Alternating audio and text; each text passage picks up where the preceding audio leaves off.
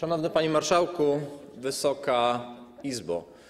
Ta ustawa to bomba z opóźnionym zapłonem, bo nie ma co się oszukiwać, że rzeczywiście na chwilę, na te pół roku te ceny zostaną zatrzymane, bo nie łudźmy się, że one się obniżą, bo się nie obniżą. Ale szanowny panie ministrze, szanowni posłowie PiSu, bo ty, wy jesteście wnioskodawcami, bo nie ministerstwo ani premier, e, co w czerwcu?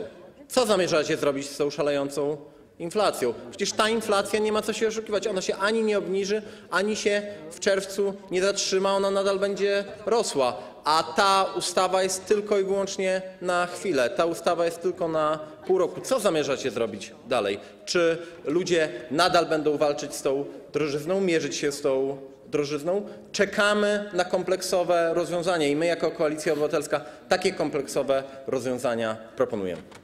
Bardzo dziękuję panu posłowi.